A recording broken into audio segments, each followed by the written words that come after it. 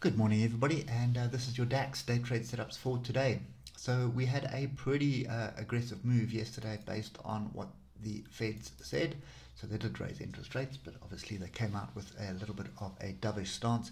In other words, not as aggressive as what they were in the past. And uh, that does validate this uh, inverse head and shoulders here. Shoulder, head, shoulder. We've had the break of the neckline. That's the pullback level that we're looking for. So uh, we are still technically in the downtrend, but we're back in amongst the moving averages. So you need to be cautious here, um, especially if you're short. Now, if you look at it on the three hour, we've got a crossover brewing. We're above the 155. Uh, personally, I'm looking for a pullback onto structure in order to buy into this, um, targeting this upper trend line up here.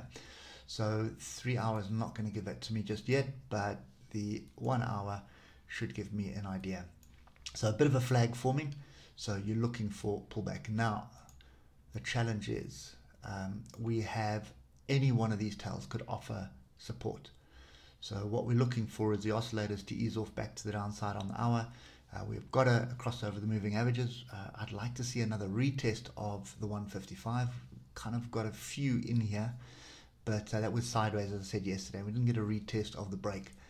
So um, pay attention to your lower time frames. There was a little bit of uh, a gap here, and bear in mind this is after the after hours. So this happened after hours on the DAX. So I would expect some kind of a pullback, um, either to close the gap of uh, where the DAX actually closed. So it would be around here at one at fourteen zero. Uh, where's the close? Close, close. Sorry, fourteen one five zero.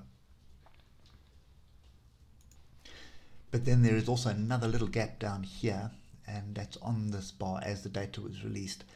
So that is uh, around 14076, but I don't think that's the one you're looking for. We're looking for the close at 14074. So those are the two levels we do need to pay attention to. But then again, this area here could offer some support as well. That would give us a massive gap up on the DAX, um, sort of not on the futures market, but on the actual DAX market. Uh, exchange.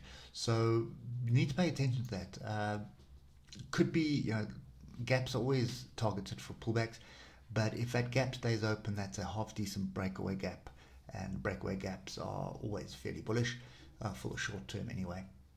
So that's kind of my view on the DAX at the moment. Is you know, it could be a situation that you know we have a inverse head and shoulders, and we are looking to validate it.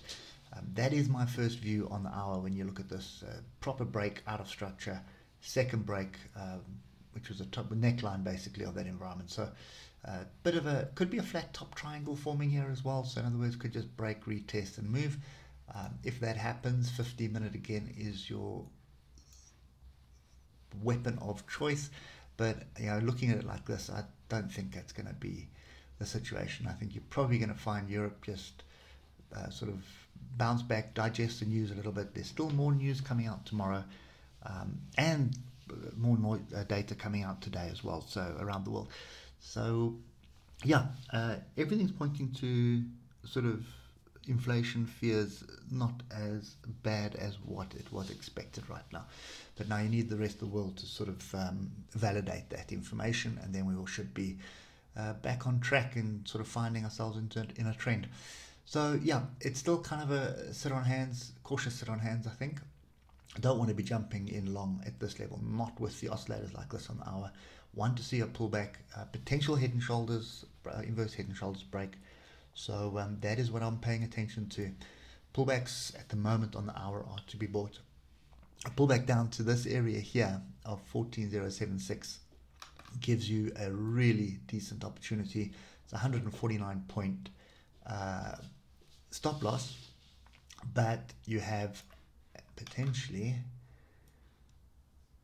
a 650 point gain for the inverse head and shoulders.